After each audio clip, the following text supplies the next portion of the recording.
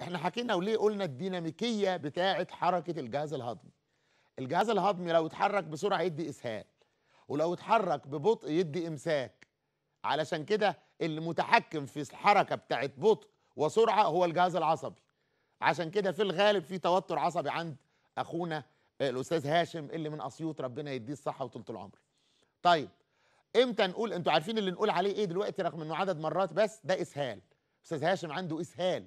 حد يقول لي بس إيه البراز اعزك الله مش مية. لا مش مية بس عدد المرات الكتير إسهال. عدد المرات القليل إمساك. يبقى عدد المرات القليل إمساك. وهو مرتبط بالواحد.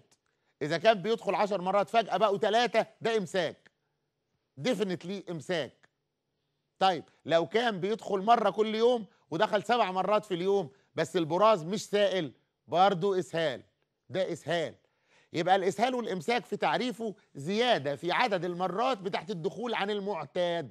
عشان كده سألت سؤال مهم. حضرتك كانت الدنيا كويسة حد إمتى؟ قال لي كتير بقى لها كتير. طبعا إحنا بنحذر برضو إخواننا اللي بياخدوا أدوية للإمساك. بعد شوية الأدوية مش هتجيب فايدة والإمساك هيظل. وقلنا حل الإمساك أنا بقول الإمساك مش الإسهال. هرجع للأستاذ هاشم. بس حل الإمساك شرب مية كتير طول النهار. اتنين خضروات وفاكهة. ألياف. الألياف موجودة في إيه؟ في قلب الطماطماية قلب الخيارة قلب الطماطماية والبرتقانة والتفاحة والقلب كل الح... الكمثرى. كل الحاجات دي تعجل بحل مشكلة الإمساك.